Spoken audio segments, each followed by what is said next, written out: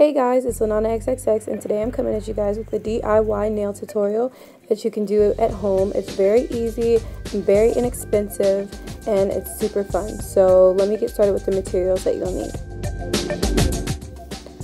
The most important thing that you're going to need are some nails. Now each of these bags have a number on them. So each number equals a different size. You can get about 500 of these for on eBay for a few bucks and I'll put a link below or you can just get them at Walmart. They're super inexpensive. Next, you'll need some nail glue. This is maximum speed nail glue. It dries in three seconds, so you can get this for a couple bucks at Walmart.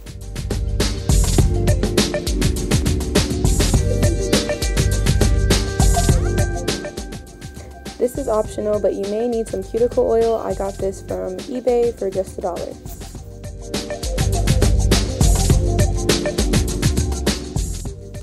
Now this is a nail tool. You can use this and if you don't have one of these, you can just use a cuticle pusher. And you'll also need a nail file and I would recommend a crystal nail file.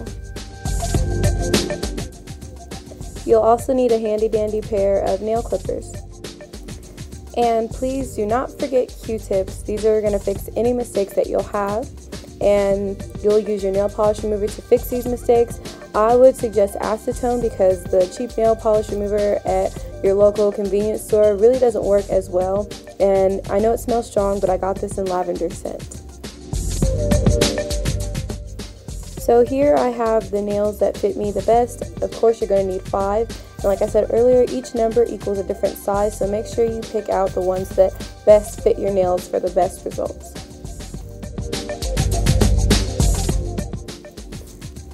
So here I'm just taking one of the nails out of the bag and placing them on top to see if it's going to be a snug fit. And don't worry if the nail's a little too big, we can just file away the edges for a perfect fit. So next you're going to want to lay your nails out from pinky to thumb. Next I'm going to go ahead and give my nails a good wipe down and then I'm going to go ahead and clip them. Clipping my fingernails will prevent bacteria from growing when the glue is adhered to my nail.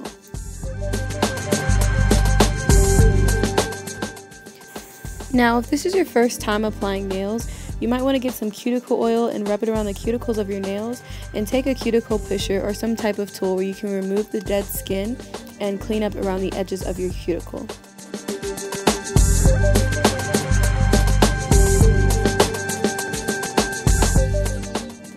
Now this is the most important step at bonding the nails together.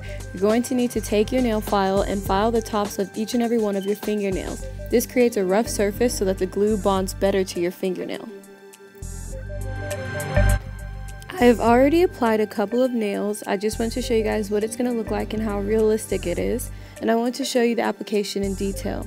You'll take just a drop of nail glue and you'll move it around with the nozzle of the nail glue. Make sure it's evenly spread around the nail and then carefully take your plastic nail and slip it on from top to bottom and clasp it over your finger for about 3 seconds.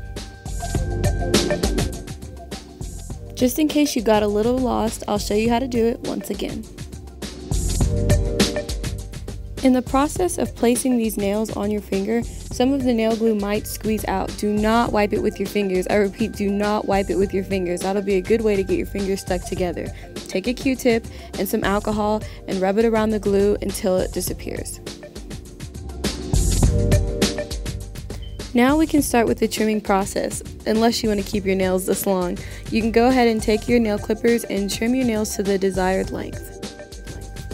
Also, there are very many different ways you can shape these nails. I know a lot of you guys like the trend of the long, sharp nails. All you have to do is cut these nails into a triangle shape and file them so that they're round at the edge and you can achieve that look. No matter which style you choose, make sure you go around the nail and file the edges. Test the nails, run your hands across them to make sure that they're not sharp and will not cut you. And finally, we can move on to the polishing process. Now this polish I got from Body Central, as you can see it's only $2.90. I love getting my nail polish from uh, stores in the mall because they usually have fast drying nail polish and it's usually very vibrant and it's really good quality. Just be patient with your nails and take your time and don't forget about your clear coat And it's okay if you make mistakes, just grab your nail polish remover and a q-tip and go around your nails. Thank you guys for watching my DIY nail tutorial. Just in case you guys are wondering, these nails will last for two weeks by themselves, or you can go ahead and take them off with your teeth. Thank you guys for watching my DIY nail tutorial. Don't forget to follow me on my links below in the description box, and I'll see you guys next time. Peace.